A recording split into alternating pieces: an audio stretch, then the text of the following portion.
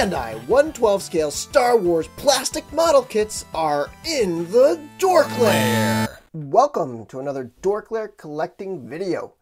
Today I'm continuing my little mini series uh, exploring how easy it is to do a model kit. So basically, again, just a reminder, this video is really not for model kit builders. This video is for action figure collectors who've been somewhat intimidated by the model kits. And I just want to show that it's really, you know, aside from cutting the pieces off, it's pretty much as basic as building Legos, especially if you're going to do something that doesn't really require much paint or detailing like a stormtrooper. Some of the other figures um, require some detailing, some paint work and stuff, but there are some kits like this one where you really don't need to do anything. They just come out looking really nice and you don't need to do any paint. And um, so they come with obviously like the instruction booklet right here. And then these are the two options for putting stickers on. So you have actual stickers that you can peel off and apply. And then you have water slide decals, which I think is another thing that maybe people get a little intimidated by. And I find these actually much better. I like I kind of like putting these on, um, but it's a little more involved than these. Not that much though. Okay, and then you know the kit comes with the uh, racks with the pieces on there, and what you do is you just cut them off and assemble. So let's jump into this. I'm I'm just gonna probably build like a few parts, maybe build the head, um, just to kind of like show you how basic and simple it is. It'll be a pretty quick video because once you get the gist of it, it's not really much different going piece to piece um, throughout the kit. So uh, what I'll do is I'll show you a few parts and um, and then we'll let it go there. So you've got a couple racks. This is the A rack. And then this one's the B rack. And then, of course, this one's the PCF6 rack. Uh, and then you got one more with the base on it, SWB3. And as you work your way through the instruction booklet, you will um, basically almost the same way you would with like a Lego kit. So it'll go in parts. So this is the section with the head. And you'll see here that this is step one. And it's calling for four pieces, two steps. You have B 37, B36, um, A44, and B33. So you can see how that's going to assemble. So if I look at the B rack, I'm going to want to pull off, start with B37 and B36. Simple enough. Find the B rack and look around. So up top here, let's see, up top here we have the 1, 2, uh, the lower numbers so moving on down, we're looking for, again, B37 and B36. So B37 and B36 are these two pieces right here, 36 and 37. And you'll see that the pieces are attached on these triangular points.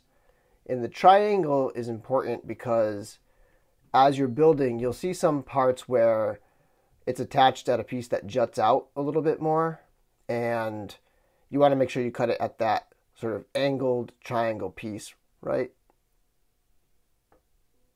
there.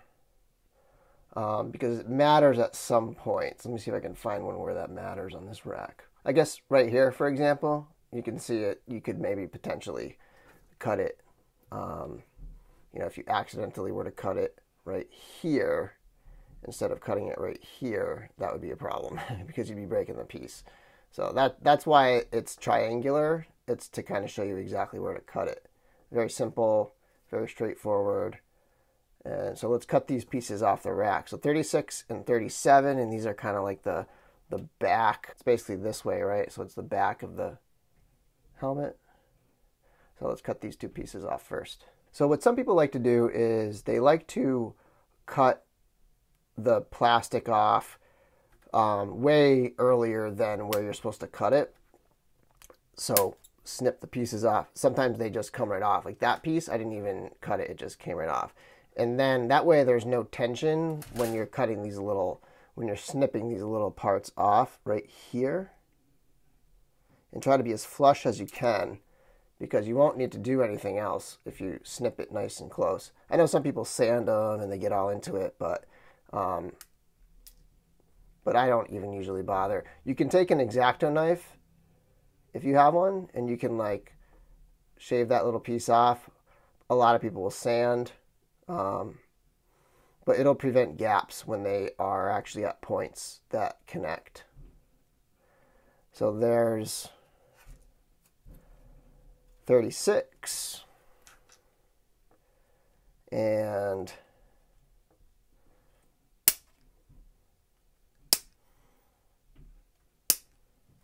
and snip. Two. And when it's a situation like this I try to go nice and flush. As flush as I can. But again the experts are going to be sanding these down and like making it real perfect but I don't really care because I just want a nice cool figure it doesn't have to be perfect so you got your two pieces here and take a look at the kit at the uh, instructions. So these two pieces just push together 36 and 37.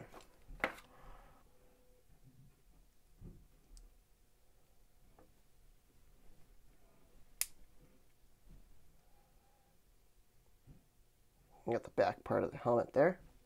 And then we need B33, A44, and the piece we just put together to assemble this next part. So we need B33 and A44. And B33 is the, the front of the mask. It's an easy one to find.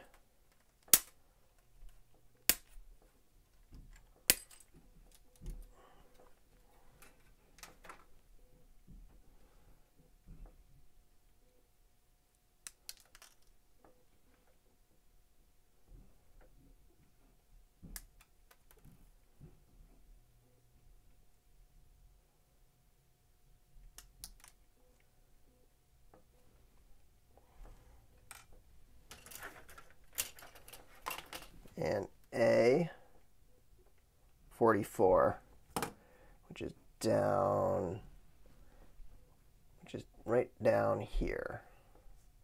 So this rack here is a hard plastic, and this one is like a stiff plastic. These two are stiff plastics, and then there's a joints rack here. This one has all the joints on it, and this is like a pretty much like a rubbery type of plastic that allows for the articulation.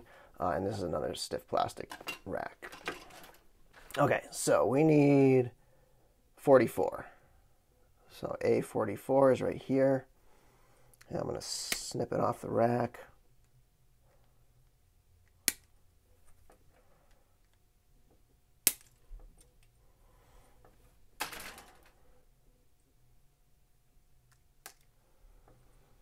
We got our piece. So we have our three pieces and follow the directions and just push them together. So this one looks like it goes into the front like this. And you can see the pieces coming through. And that's the beauty of these kits. It really they have like the the layering of it because they're all separate pieces and they just look really tight. Okay, and then this next piece is just going to go on the back like this. Line it up.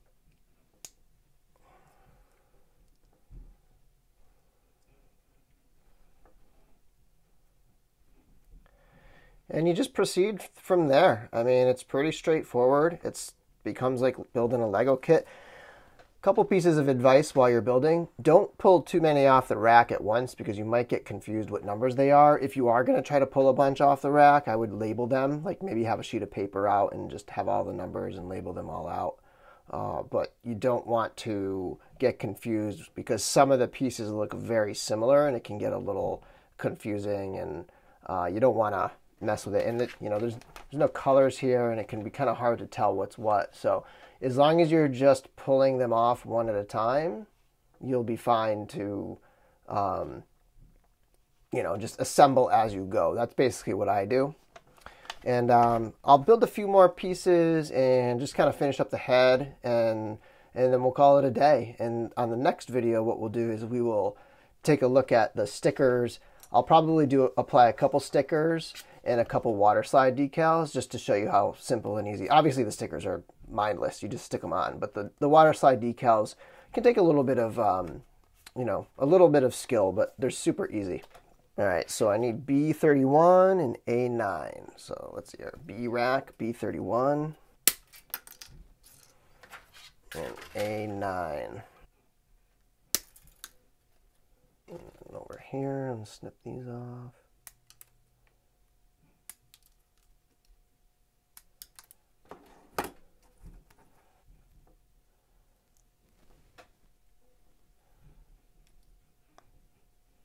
Okay, so one one cool piece here is uh, even though this is a rack with a black on it, there is a white piece, and then there is a clear green piece, and this is the visor right here. So I'm going to pop that one off because that's A39, and I just need that to assemble right over here.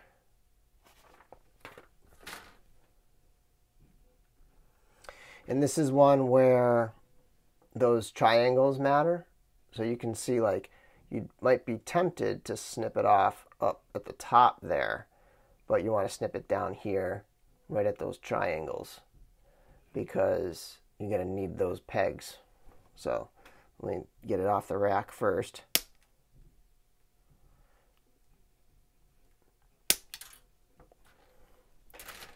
And then I'm going to snip it right, I don't know if you can see that, it's tough to see, but right where that triangle comes down, right there, and right there.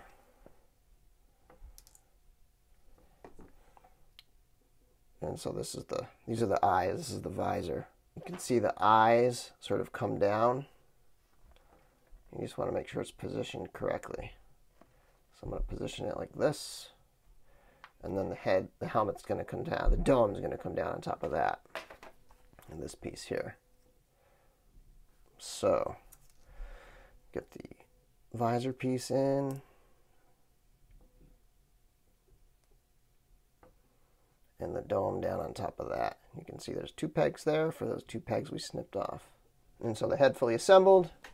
And if you look at the sheet, after step one, you move on to step two and you start building out the torso. And again, you just go through step by step, cut a piece off, cut the next piece off, stick them together according to the worksheet, and move on to your next step in one step at a time. And you can build yourself a stormtrooper. Very simple. It's basically as easy as Legos. And like I said, next video, the final video, I'll have the rest of the kit um, fully assembled and then what we'll do is we'll put some stickers on and we'll put some decals on. And I mean it's that easy. So thanks for watching my video. Uh, be sure to check out the next one and uh, all my other videos. Lots of action figure reviews. Hope you enjoyed it. And until next time may the force be with you.